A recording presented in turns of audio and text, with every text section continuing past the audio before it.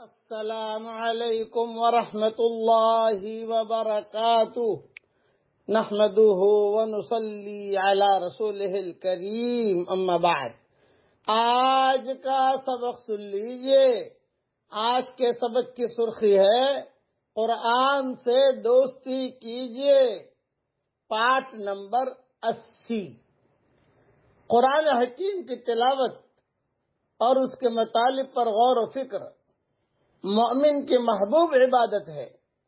कुरान से शगफ खुदा से ताल्लुक की दलील भी है और खुदा से ताल्लुक का ज़रिया भी है। कुरान में तदब्बर और तफक्र से मोमिन को रूहानी सुरूर भी हासिल होता है और उसी के ज़रिए उस पर हिकमत के दरवाजे भी खुलते हैं। कुरान हकीम बिला शुबा निहायत आसान किताब है और कुरान बड़ी शान वाला है।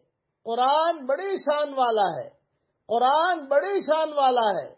जहाँ तक उससे हिदायत हासिल करने और उसके अहकाम की पैरवी करने का ताल्लुक है, उसकी तालीमत निहायत सादा और वाज और हज गुजलिस से पाक है। अलबत् उसके असरार रमूज और उसके हमतों को पाने के लिए ज़रूरी है कि हम फहम कुरान के तमाम आदाब व शराइ के साथ उसका मुताला करें, सच्ची तलब के साथ उस पर सोचें और किसी वक्त भी उससे गफलत और बेनियाजी न बरतें। बराबर मुताला करते रहें और ज़िंदगी भर करते रहें, ज़िंदगी भर पढ़ते रहें। कुरान को देखना भी इबादत है और कुरान पढ़ना भी इबादत है। कुरान को हाथ लगाना भी इबादत है। कुरान को छूना भी इबादत है, कुरान को पढ़ना भी इबादत है, कुरान को जो है अपने सीने में उतारना भी इबादत है। सलफ सालिहीन में से बाद बिल्कुल माजूर हो जाते थे। लेकिन किताबों में लिखा है, मैंने खुद मौलाना सैयद खान साहब रहमतुल्लाह को देखा है, बिल्कुल माजूर हो गए थे, पढ़ नहीं सकते थे।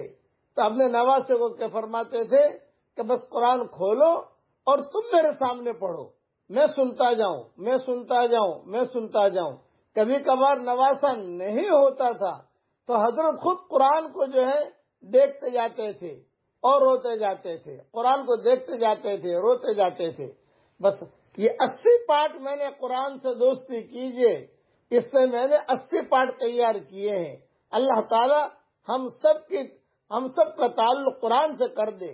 और हमारी कयामत तक के आने वाली नस्लों का ताल्लुक अल्लाह ताला कुरान से कर दे। कल से इंशाअल्लाह शुरू होगा, प्यारे अल्लाह से दोस्ती कीजिए। पार्ट नंबर एक part number two part number three part number four, ये इंशाअल्लाह शुरू होगा। प्यारे अल्लाह से दोस्ती कीजिए। अब पढ़ लीजिए मेरे साथ। अल्लाह जुकनी तय्यबा वस्तामिलनी सालिहा। ए मेरे प्यारे अल्लाह, मुझे पाक साफ़ रोजी खिला और मुझे अपने अच्छे कामों के लिए इस्तेमाल फरमा। पाकिजा रोजी और नेक काम की तौफीक के लिए ये दुआ बहुत मुजरब है। ये दुआ हज़रत जबरील सलाम ने रसूलुल्लाह सल्लल्लाहु अलैहि वसल्लम को सिखाई थी। जाम सगीर में ये दुआ मौजूद है।